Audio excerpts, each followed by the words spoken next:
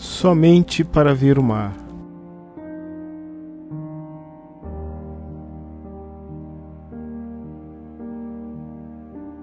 Talvez seja muito cedo para fazer meu epitáfio, mas é que a todo tempo me pergunto sobre o que eu estou fazendo aqui.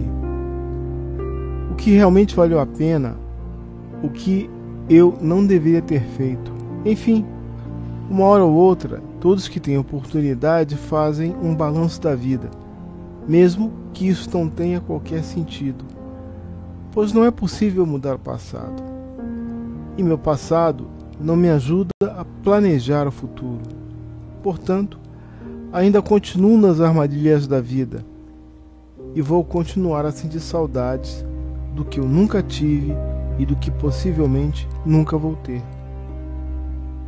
Me afastei da proteção e preferi a verdade.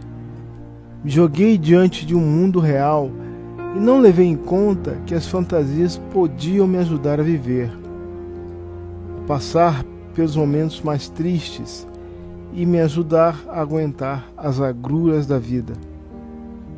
Mas, pelo menos sei que nasci para ver o mar, para enxergar um horizonte, mesmo que eu nunca possa alcançá-lo. Ou seja, a rudeza em enxergar e perseguir o mundo real, embora tenha afastado a fantasia, nunca me deixou fora da poesia. A poesia que me permite sentir algo diferente que não tem palavras para descrever.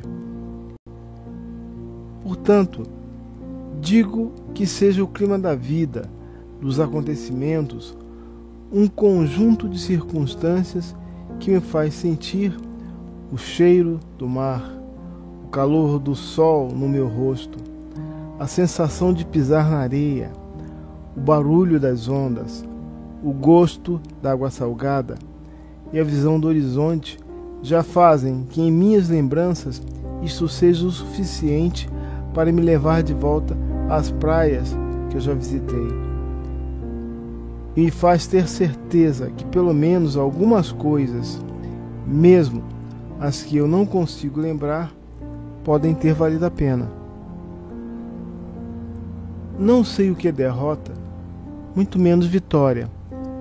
Pretendo permanecer na inocência, onde as respostas ainda estão por vir. Não tenho respostas. Simplesmente pretendo me lançar no mundo como uma gaivota sem destino que simplesmente sobrevoa o mar somente porque pode fazê-lo. As obrigações me oprimem as responsabilidades que a vida humana me impuseram me impedem de lançar voos mais altos. Mas talvez como se fossem musas inspiradoras, por uns momentos eu posso me libertar usando minhas asas, mas as que estão em minha mente, as que me fazem encarnar em um pássaro e sentir o vento sobre meu corpo.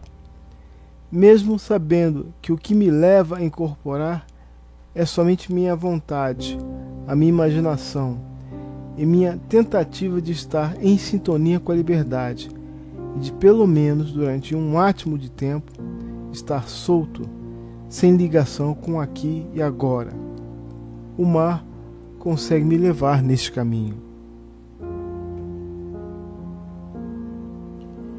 Em meu epitáfio, mesmo que depois da minha ida eu pense que nada do que existe poderá tocar meu ego, pois penso que este se desvanecerá se misturando com as moléculas e a energia do cosmos, que pelo menos alguém lembre que eu nasci para ver o mar.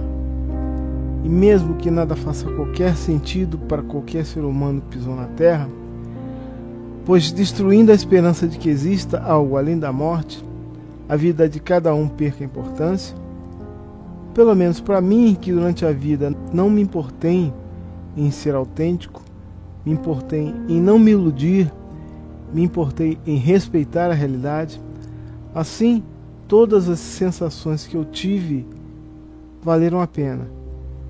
pois o universo me permitiu experimentar coisas que muitas almas que não se formaram não puderam ter, pois só acredito na alma quando existe um corpo em vida. E por estar aqui, tive oportunidade de ter uma vida. Agradeço ao acaso. Mesmo que meu destino fosse traçado e eu só tivesse vindo aqui a este mundo somente para ver o mar.